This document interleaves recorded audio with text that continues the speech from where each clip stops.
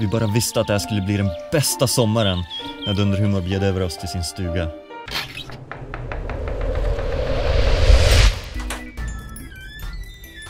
Tjena Adrian!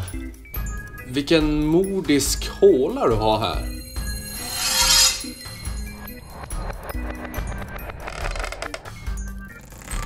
Ah, stolar. Sitta ner. Ja men,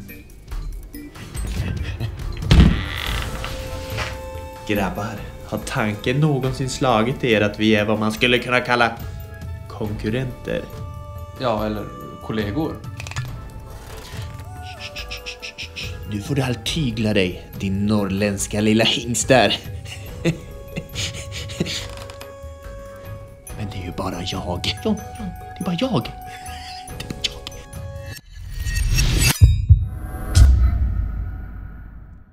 Vi visste att sommaren skulle bli grejt när Dunderhumor bjöd oss över till deras lilla stuga i skogen. Välkomna ska ni vara till Adrians karateshow.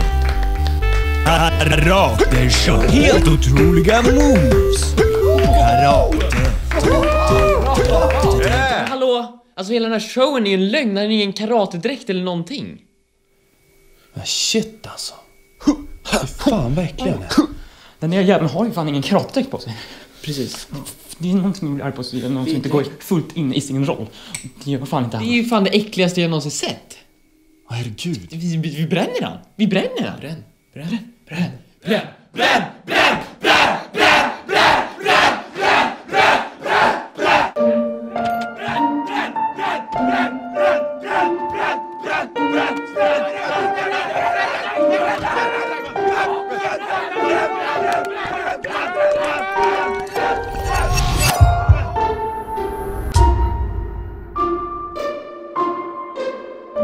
Och det blev verkligen en riktigt grejt sommar.